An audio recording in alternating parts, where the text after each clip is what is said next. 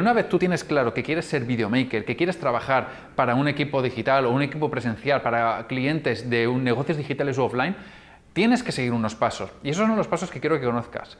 Básicamente, yo podría decir que son tres. Son tres pasos, pero te los, voy a, te los voy a explicar bastante bien para que lo entiendas y para que puedas seguirlos. El primer paso, muy importante, es conocer cómo funcionan los negocios. Conocer cómo funcionan los negocios no significa que te tengas que sacar un MBA, no significa que te tengas que, que, formar en negocios ni digitales ni offline, ni mucho menos. Significa que entiendas qué papel juegas tú dentro de esos negocios. El segundo punto, sorpresa, sorpresa, es hacer buenos vídeos.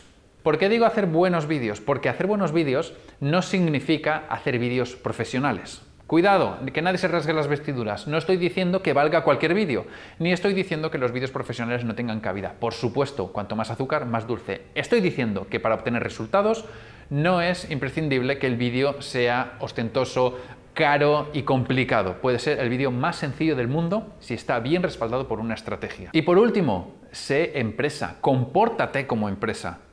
Si yo te formo a ti como videomaker y considero que eres bueno, yo no te puedo recomendar a otra persona si tú no eres empresa.